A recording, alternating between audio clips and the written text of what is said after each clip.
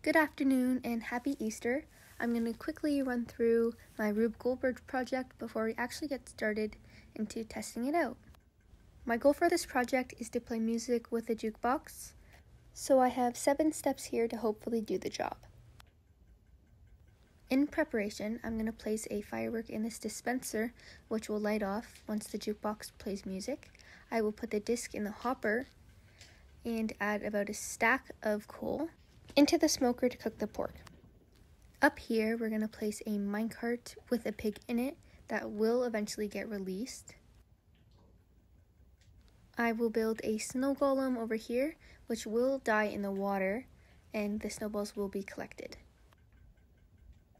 Here I'll be using bone meal to quickly grow the sugarcane that will be cut off and dropped onto a pressure plate.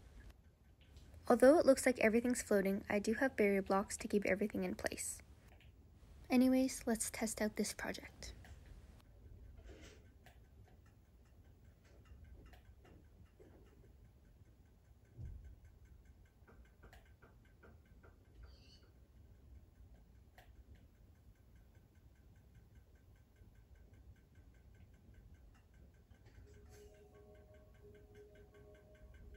You can not only tell that the jukebox is working by the sound, but also the musical notes above it.